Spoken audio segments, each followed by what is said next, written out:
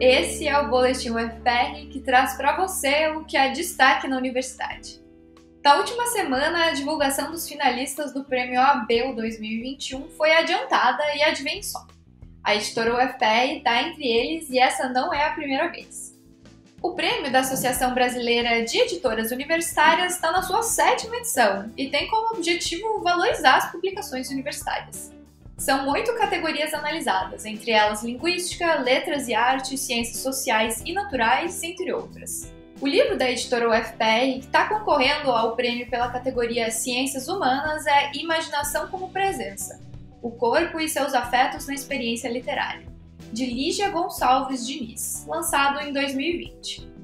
A divulgação dos ganhadores será feita no dia 23 de novembro, às 19 horas, durante uma cerimônia online pelo canal do YouTube da Abel.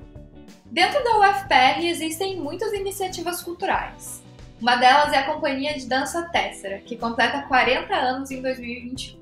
Para marcar a data, a companhia lançou uma série de ações comemorativas, entre apresentações de dança e vídeos com depoimentos de quem faz ou já fez parte da companhia.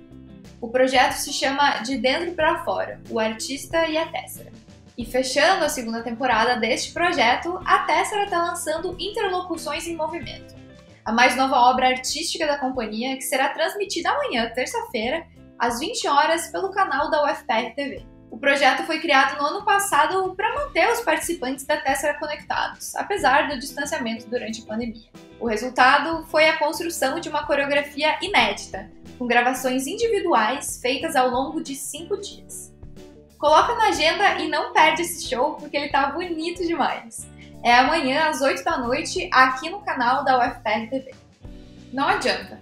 Vai boletim, vem boletim e a gente sempre acaba voltando para o um assunto. E não é por menos, ele é muito importante. É o vestibular da UFPR.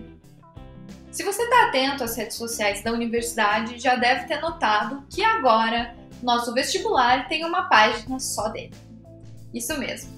A gente criou perfis no Facebook e Instagram só para divulgar notícias relacionadas ao vestibular 2022 da UFPR, para você não perder nenhum detalhe.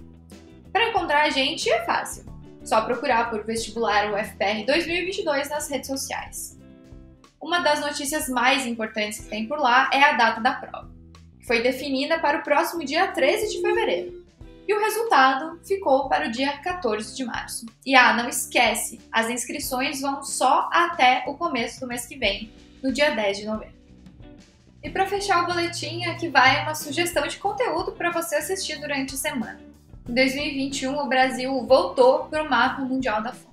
Mas isso não é o resultado da falta de alimentos, e sim de um processo político, histórico e social. No último episódio do Ciência, a gente fala sobre o conceito de soberania alimentar, que é a autonomia dos cidadãos em decidir a maneira como produzem e consomem os alimentos, de acordo com as necessidades da comunidade. Para entender melhor o assunto, nós falamos com diversos profissionais e pesquisadores do tema, e você confere tudo isso no episódio Contradições do Sistema Alimentar Brasileiro.